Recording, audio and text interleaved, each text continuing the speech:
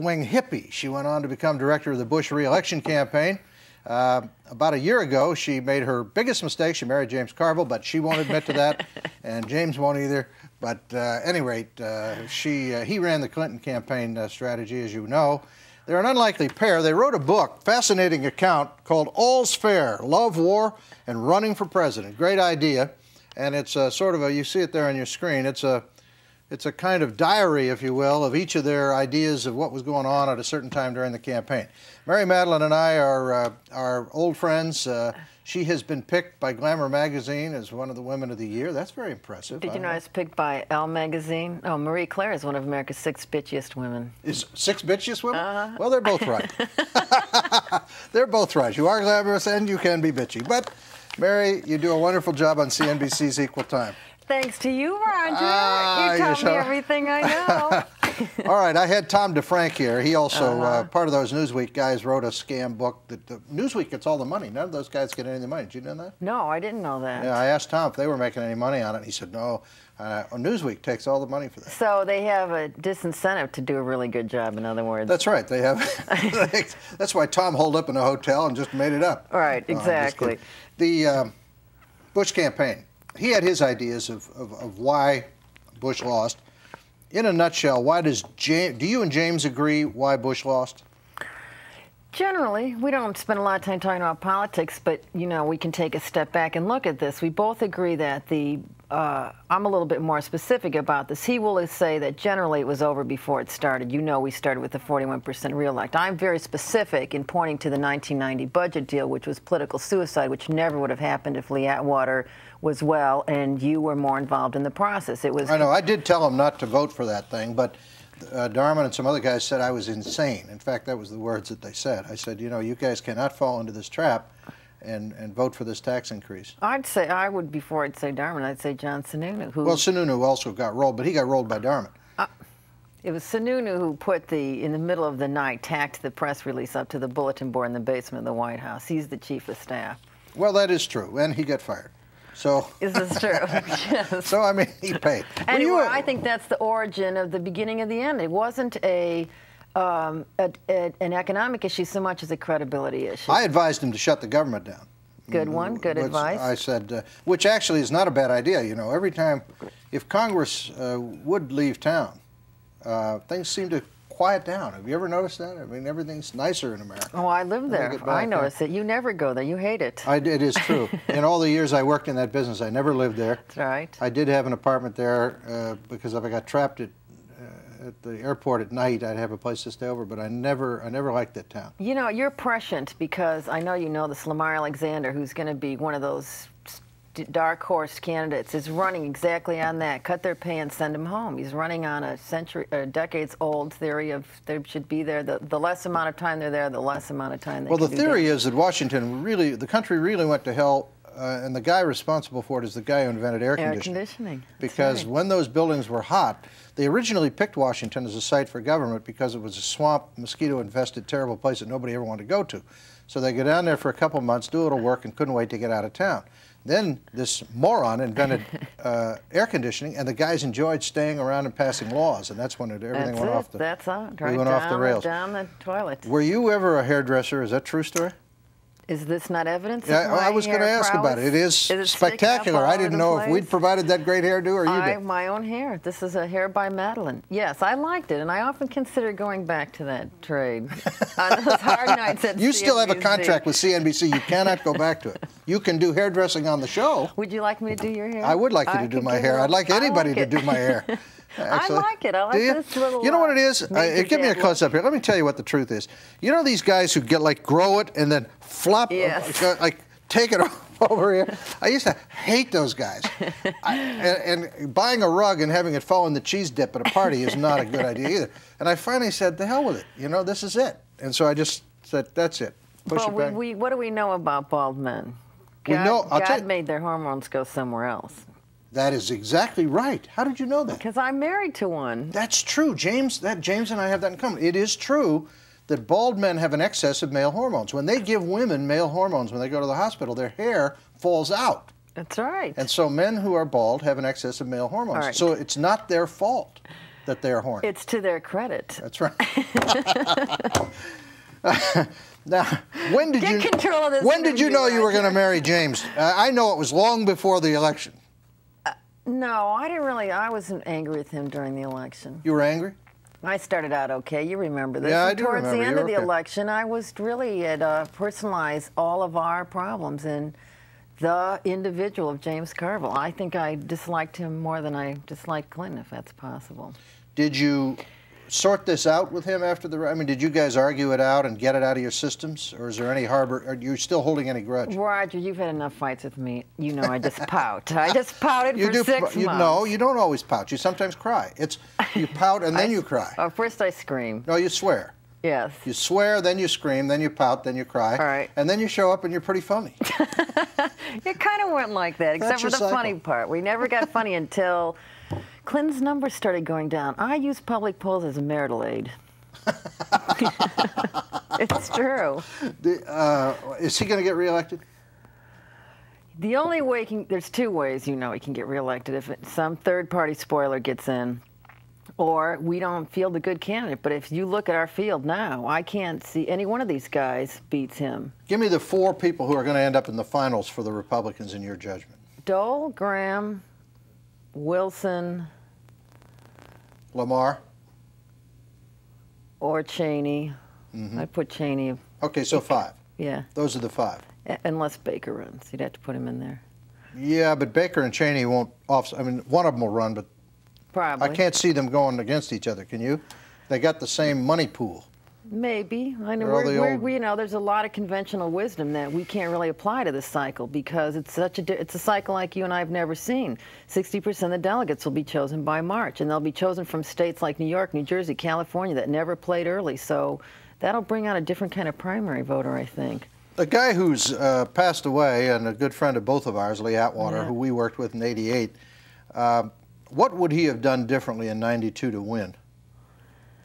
He would have started in 1990. Remember when George Mitchell said the rich got richer and the poor got poorer? As you know, it wasn't true. Every piece of statistical data points to exactly the opposite. Everybody got. But the media fell right in behind that right. because they well, pushed what that did, point. Well, you know what you and Lee both did, and you'd still do if you were doing politics. You never let the media control the agenda. We controlled the agenda in 1988, and he was sick. He got sick at about the time Mitchell started that little mantra, and we never we never recovered from that.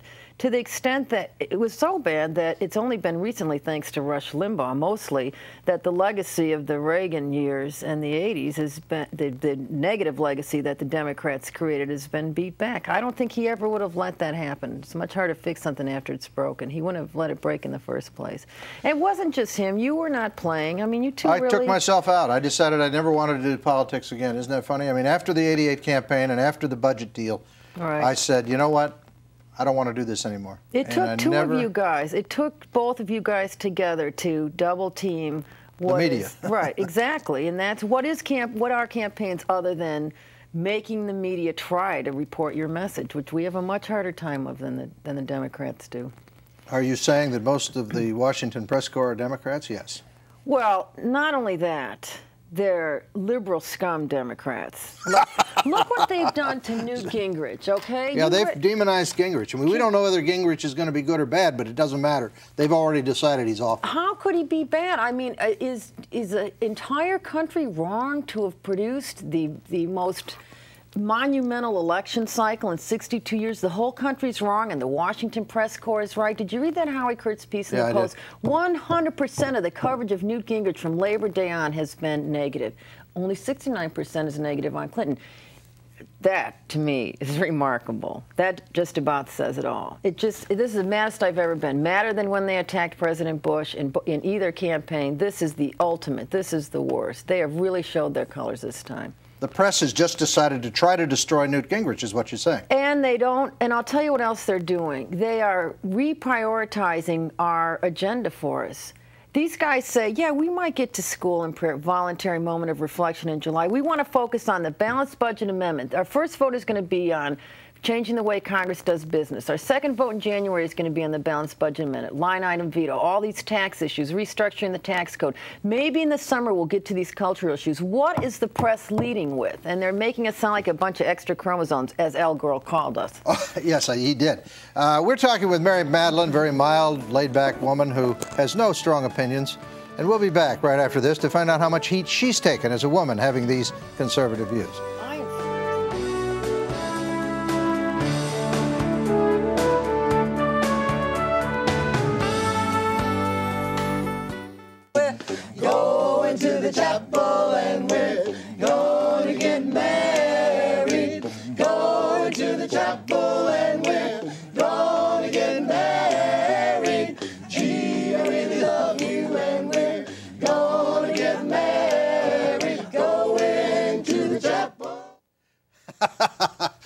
I've ever seen your husband embarrassed. I didn't think he, he could totally be embarrassed. embarrassed. You he know was you humiliated. pay me to do that. I pay you, You to do pay that. me to do That's that. on CNBC. Not very often, fortunately, but it is on CNBC. That was Don Imus looking sharp. That was Don Imus with Tony Kornheiser, um, who was really angry with me because I remembered to bring down my round hairbrush to use as my faux microphone, and he didn't have one. So that's what he was embarrassed about. Of anything else you, You know Imus well, and I've been on his show many times. I'm not allowed to go on anymore because I lost my freedom of speech. The White House demanded I be fired when the last time I was on I said something funny. And Oh, uh, they, they had no does a badge of honor? They demanded I be fired in the campaign. They weren't know, the White I House. know, but I can't do it because I now working for NBC. They they are using that as Too a club. bad, because I miss those insults, Roger. You I- regularly hit us when you were I used on to. there. That's right. I used to go on and, and savage uh, you a little Right. bit. No, I, I knew you would understand. Is Imus alive? I mean, he's actually real and alive, right? I saw him sitting there. He looks dead. Now, if he's watching Imus, I want you on this program, but you're gutless. You you want me on your program, but you won't come on this program. He won't come on here. Uh, well, he doesn't need to. Well, he does need to. He does. I'm going to sit here and savage him every night like he does to people. Oh, he. No. If you read his new book. Actually, no, but I understand it's very funny. Imus is a very, very funny man, as you know. talented, Talented guy. smart. Yeah. Yeah, and you know what else he is? He's he's making my point that we were talking about in the commercial break. Um, that candidates have uh, have new outlets, have alternative forms of media to communicate with the voter, which cuts through the mainstream media, which filters and distorts and and analyzes what the candidate says, as opposed to just telling you what the candidate says. That's what they do on IMUS. I mean, thank God we have Rush. We don't, you know, who was the only voice of a conservative governing approach in the dark days of our defeat, the fetal position days, as I call them.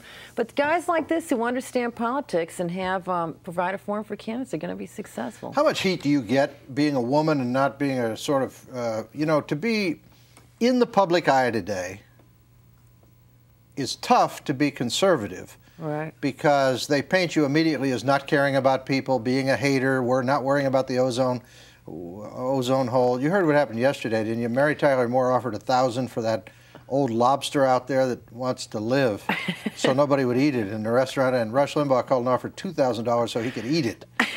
Uh, and that, that, of course, is one of the funniest ideas in the world. But but they say, ah, you see, that conservative, he's a heartless guy. Now, as a woman, you have an added problem because if you don't wear all the ribbons and come out for all the right causes and act like all the right things, Right. they think you're really heartless. Do you have that problem? Oh yeah, people. Um, somebody uh, on Phil Donahue's show, as a matter of fact, and their CNBC hero, said, "I never thought you were a human being till I read the book." You know, people say that kind of stuff all the time. I think these people that call us racist bigots and homophobes phobes are racist bigots, homophobes, and misogynists.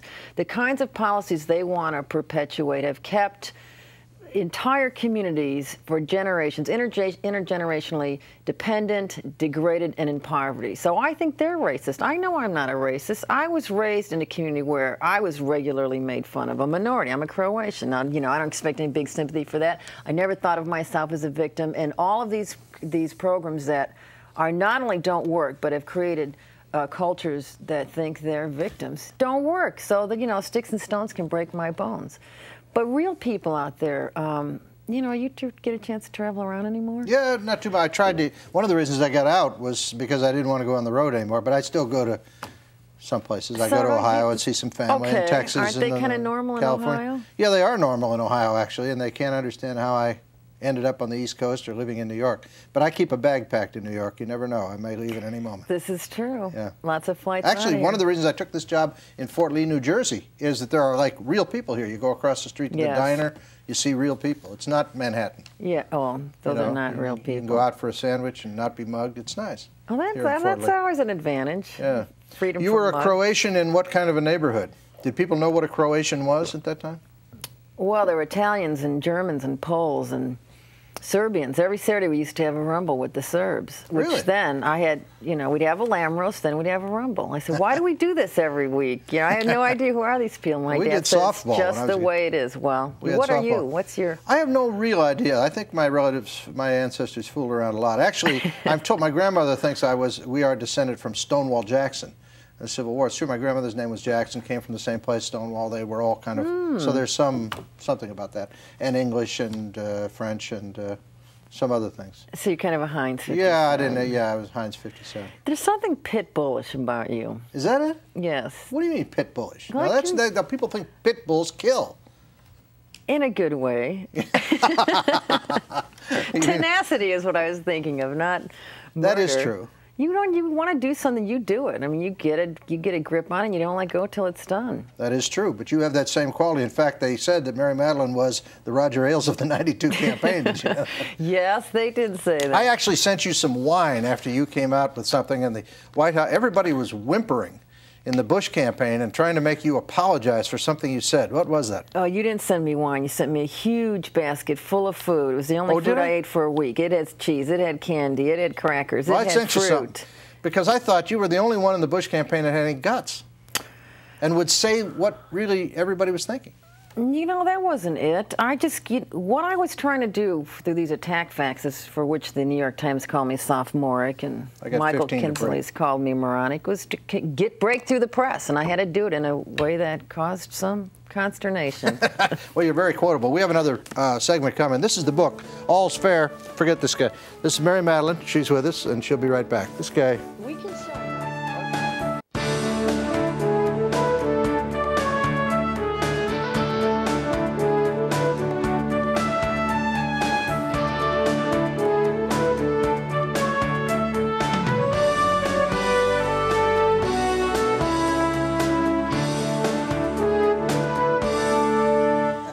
That was sweet little Mary Matalin, long before she learned to swear and drink beer and wave her arms and act crazy in front of crowds. you were the homecoming queen of what high school? Thornton Fractional North. Uh, the cute. There were six women in the race, six girls, and uh, I got. I don't know how I got nominated, but the five cute girls split the cute girl vote, and I just ran up the middle. It was my first political lesson. It wasn't a big Croatian turnout or anything, was it? It So was just. it uh, was uh, my sister owned the freshman class, and I was going out with a senior. It honestly was my first political thing. you always hung out with vote. older guys, looks like, right? Well, even at a 10 to 15 year age difference, they're still not quite mature. You know what I mean? You ought to know. I know. now they're going to wonder about that, Mary. Uh, Let them wonder. Yeah. Tell me about Ross Perot. Give me a description of Ross Perot's personality in your mind. He is a supercilious, self-interested, megalomaniacal, worthless waste of skin. Okay. And uh, as, as is evidenced by, he had one. What do you have? One victorious candidate. Ross, I didn't know she was going to say that, by the way. I'll be honest with you. I mean, He's the only I'm not a big fan of yours either, but I didn't know she was going to say that. Look, look Go at ahead. this. He has had he he only went where he could get press. That's why I say self-interested and, and a megalomaniac. He hurt Ann Richards in Texas. His endorsement hurt Ann Richards in Texas. Bob Squier denies that, but I had Squier on election night, and I thought he drove Ann Richards' vote down. He did, and I had dinner with Don Sipple, who was Wilson's uh, when uh, Governor Wilson was on our show last week, and he also did Junior, and he said it, he, it was a blip up, and then it drove him back, drove her back. So, so what? He, he's a phony. Look, he, he endorsed Golisano here in New York, and he immediately dropped. He went from eight points to four after the. Here's what it is. Let me finish this thought because it's important for people. Because I, in no me- way, mean to um, attack people who followed him. They really thought he was re- representing a new way of looking at government. But he's a hypocrite and he's a phony. He talks. He attacks government. He attacks lobbyists. And as you know, all of his billions of dollars were made off of government contracts, and he lobbied the hell out of Congress. He's a hypocrite. how do you feel? Has Bill Clinton learned anything since he's been in the presidency? Is he doing a better job today than he was before? And and is he doing a good enough job to get himself reelected? You know, they, these guys in Washington inside the Beltway are always dancing on the head of the pin. They keep saying, well, Leon Panetta, the new chief of staff, is doing better. But we can't see it. You know, people in Ohio can't see that Leon's doing better. He's not letting the kids go on the talk shows. What difference does that make? Well, he's not letting Hillary out of the cage. I mean, I don't think he's not letting. I think she kind of figured out that, that the, she got a massive rejection on well, health care. Look at this poll that um, the president's pollster just did for the Democratic Leadership Convention, which which uh, conference, which Bill Clinton used to head up, the moderate Democrat um, organization. It says specifically that he lost the majority of independents, which account for 30% of the electorate now, because of the health care proposal. That was that was a real silver bullet or negative silver bullet for them. Is he getting better? I think he's a consummate politician. We never said, we never denied his political prowess in 92 and won't again in 96, but I don't know what he's learning because look at what these guys tried to say coming out of this historic election. They just didn't know what we did. You know, they didn't know our accomplishments. If they knew his accomplishments or what he did, he would have lost by more in this past election. why are not, why are more women not conservative? I don't think that's true. I think that's another press misnomer because. In other words, there are a lot of ones that are hidden and don't speak oh, out like you. Oh my goodness, yes. Um, the as this election cycle showed, all the women who swept in were swept in in the year of the woman 1992 lived by the gender, by, died by the gender, as I said in 1992. Never parlay your gender. That's stupid. Most of those women were swept out, and guess equal numbers or more numbers of women, conservative women, were swept in. I think we picked up five congressional seats and one Senate seat. Ronald Reagan, in his reelection campaign, as I recall, won the woman's vote. Sure, we had, and we're winning the. You know, everyone's talking about the angry white men, which we're still we're getting. By the way, that's not necessarily wrong nor bad. It's not wrong nor bad, but it's not. We're not angry. Twenty-one percent of the people identified themselves as angry. This was an affirmative, positive vote. People were voting for something, which is less government, and women were voting that way. You know who we did well with is suburban married women. That's who we lost in 92 off of that horrible convention. Is Newt making a mistake to bring up prayer in school instead of sticking to economic I think issues? Newt is only, Newt's only mistake is thinking he's going to get an even break from the press. He wasn't leading with prayer in school. He's assigned uh, a congressman to look at it for a potential vote in July. He's focusing on the balanced budget amendment, term limits, line item veto, economic issues, and he, the, he just utters something like, uh, social issue, and the press plays it up. He's, he's making a mistake to think he's going to get an even break from the press. Having said that, who could be against voluntary prayer in school? I mean, let I hope we. Phil can, Donahue is. He and I had a big debate about it. Uh, good. Well, let him run. Let those guys say that they're against God. Let the Democrats run against God. I like that. Yeah, my, my issue is not whether. I mean, as you know, I I believe that that uh, uh, there should be separation of church and state in the sense that there should be no mandated religion. But I always thought, you know, I don't honestly care what the kid in the seat next to me does. That doesn't affect my child. It doesn't affect me as far as I'm concerned. This idea that I'm going to somehow terrorize this child because right. I feel like praying or he's going to terrorize me because I feel like praying. I don't care what he does. He can read a funny book if he wants. Right. Not my problem. And that's what the language of the amendment says that there can be no um, dictation of what the, the, moment of silence is. and I agree with for. that. I don't think you should dictate anything, but in a, in a place where guys are carrying 357 Magnums into the classroom, that's more terrifying to me exactly. than whether the guy wants to do something but don't, there. I know you're not, but we can't fall in this trap to letting the media say that we're leading with this issue. We are not leading with this issue, but the Republican Party does represent a different set of values than the Democratic Party does. Do you I don't think, think, we should shy away from it, is what I'm saying, but we're not leading with it. What is going to keep the Republicans from currying favor with the media and trying to suck up to them so that they end up in the same position as the Democrats? Many Republicans get elected and then try to suck up and lose it. What's going to preclude their sucking up to them is that it's not going to do any good. There's only so many hours of the day, and if you spend time sucking up to them with no advantage, then, you know, we work under market forces. We will go to what serves us, and it ain't going to be the media, the mainstream media at least. So you think there are a lot more conservative women in America than the media paints? Oh man, I know that because I travel around the country because I don't make enough money at CNBC. I had to go give speeches. I knew she was going to sneak that in, folks. I knew she was going to take a shot about her contract. I negotiated a new contract for her. Jane Wallace left. You know, she's over She's there at FX great. terrorizing those people. She's doing great. Oh, she's over there. She's terrorizing them. She'll be back. Anyway, uh, in the meantime, we'll find a new uh, co-host for you soon. We have to wrap it up. Mary Matalin, my good friend, thanks Thank for coming. Thank you, Roger. Okay, good to see